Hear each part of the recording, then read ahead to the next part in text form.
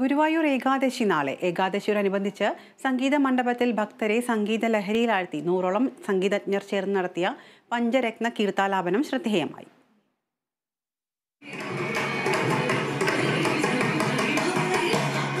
ത്യാഗരാജ് ഭാഗവതരുടെ പ്രസിദ്ധമായ അഞ്ച് കീർത്തനങ്ങൾ കോർത്തിണക്കി തയ്യാറാക്കിയതാണ് പഞ്ചരത്ന കീർത്തനാലാപനം.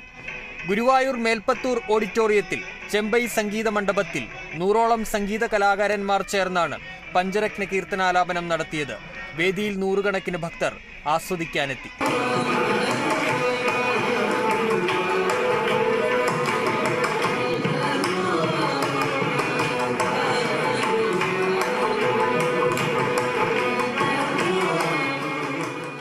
കർണാടക സംഗീത സാമ്രാട്ടായിരുന്ന ചെമ്പൈ വൈദ്യനാഥ ഭാഗവതർ ഗുരുവായൂർ ഏകാദശിയുടെ ഭാഗമായി നടത്തിയിരുന്ന നാദോപാസനയുടെ സ്മരണാർത്ഥമാണ് ചെമ്പൈ സംഗീതോത്സവം നടത്തിവരുന്നത് മൂവായിരത്തി അഞ്ഞൂറോളം സംഗീതജ്ഞരാണ് സംഗീത കച്ചേരി അവതരിപ്പിക്കുന്നത്. വിവിധ സംസ്ഥാനങ്ങളിൽ നിന്നും ഇരുന്നൂറ്റി അൻപത്തിരണ്ട് പേരും കച്ചേരികളിൽ പങ്കെടുത്തു. സംഗീത കച്ചേരി നാളെ വരെ തുടരും.